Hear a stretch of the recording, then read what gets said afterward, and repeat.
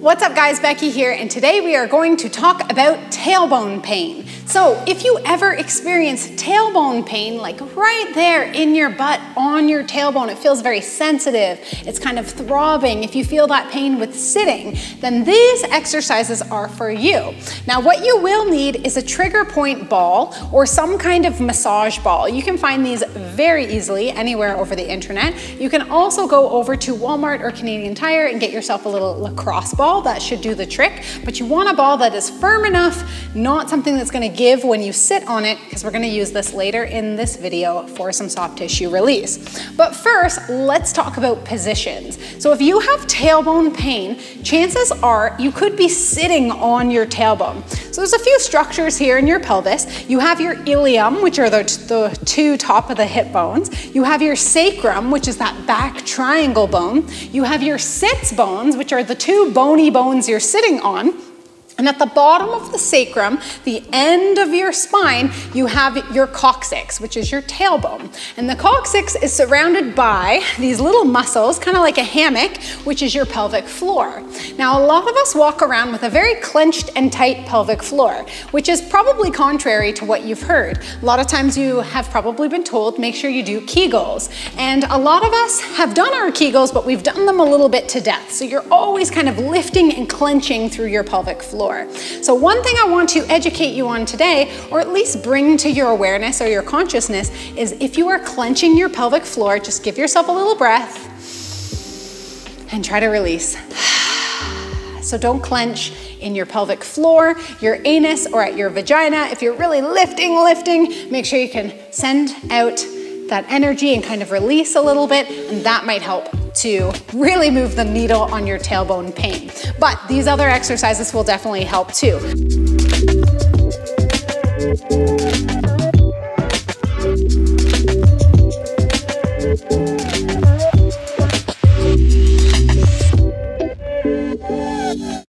So let's talk about what are you sitting on when you feel that tailbone pain. So right here, I am sitting on my two sits bones. So if you move the fleshy parts out from under your bum, you feel your two sits bones, and that's where we should be sitting on. Sitting on those sitting bones, it's how our pelvis is designed to sit. But a lot of us, when we get slumped over and lazy, we tend to rock through our spine and we'll sit right back there on that coccyx or our sacrum, our tailbone area, right?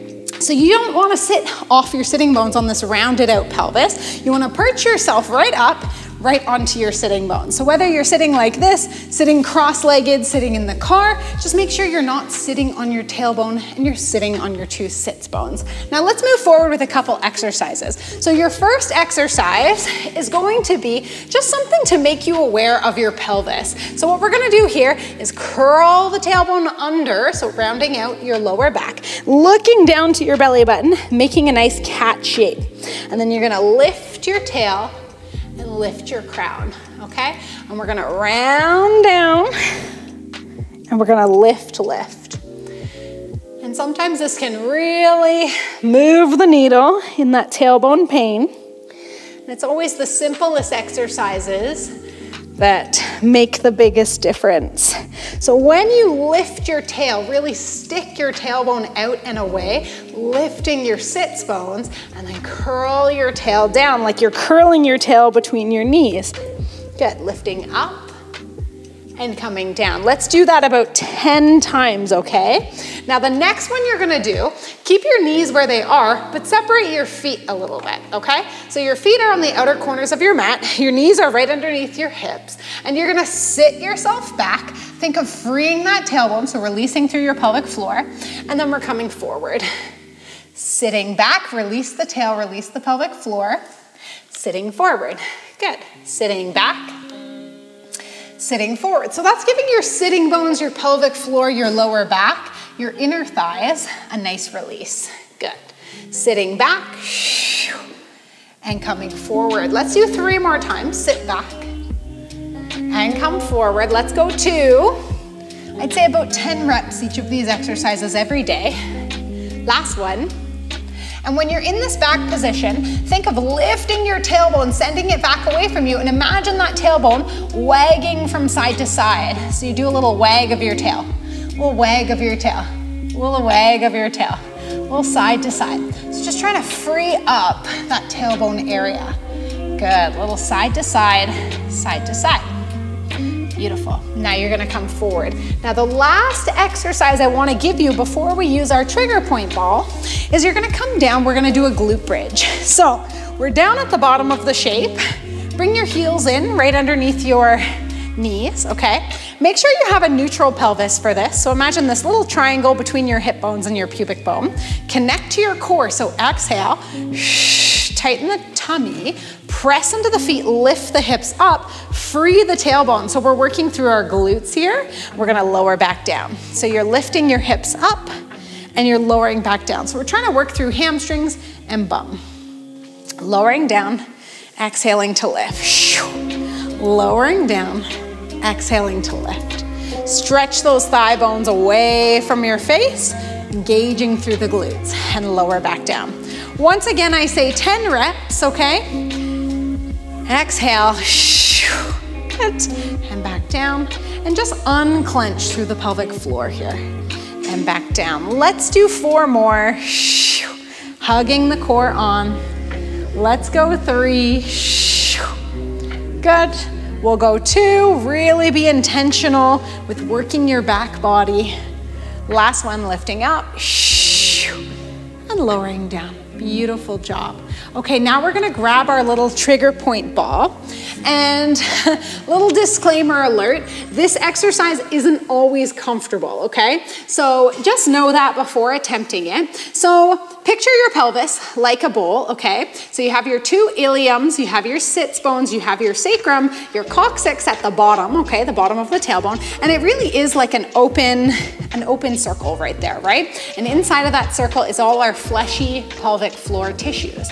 So what we're working on doing is releasing some of the tissues that could be quite tight around the tailbone that are causing you some pain. So you are gonna take this little, little ball, I almost said squishy ball, but it's not that squishy, and you're gonna wedge it between your sitting bones, okay? and between your butthole, essentially. So between your sitting bones and your butthole, you're gonna wedge it under there, and you're gonna hold, and you're just gonna hang out. And you're just gonna get comfortable with it. So you might wanna do this one alone.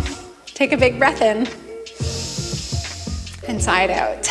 And you'll know right away if those tissues are very tight, and it could feel very different from side to side. But I say give it about five breaths. Make sure you're breathing. You can wiggle forward a little bit so you're hitting different spots. Maybe wiggle back a little bit so you're closer to the tailbone area. Let's do one more breath. You can really feel those tight muscles starting to release. You're gonna come up off of your ball. We're gonna do the exact same thing on the other side. So locate your sitting bone, where your tailbone is, where your, where your bum is, and you're gonna just sit down on that ball.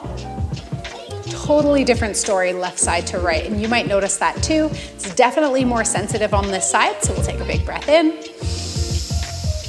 Exhale, sigh. Five total breaths. Big breath in. Exhale. Maybe move a little bit more forward so you're getting just different corners of those muscles. Two more breaths. Concentrate on melting tension, not holding tension anywhere, even when it feels uncomfortable. One more breath. All right, you're gonna take that ball out from underneath, hopefully feeling a lot more grounded, a lot more released in those sitting bones, a lot more awareness around the coccyx, the tailbone. You can put that trigger point ball off to the side. Thank yourself for showing up to this practice. Remember, 10 exercises, or sorry, 10 reps of each exercise every day until the pain has cleared. If you have any questions or comments, feel free to let me know below. And I'll see you guys next time. Bye.